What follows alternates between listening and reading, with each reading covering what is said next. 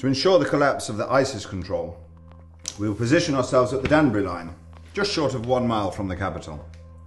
With all due respect, sir, there are thousands of civilians in the area at this time, not to mention some of our own men. We've tried to engage diplomatically. They've left us with no other choice.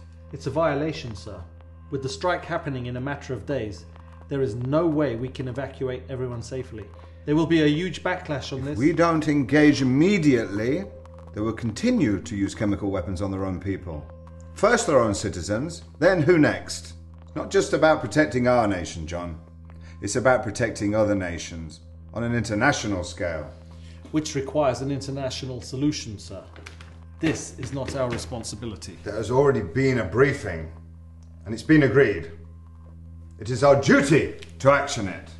We will depart at 1800 hours.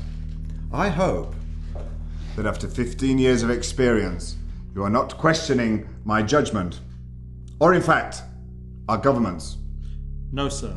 Not at all. I have the utmost respect. But You sir, will I- instruct the ground forces to exit the former line here. Air forces are set to depart at 2300 hours. Code word Aurora. Any questions? No, sir. I want an update at 1700 hours. You're dismissed. Thank you, sir.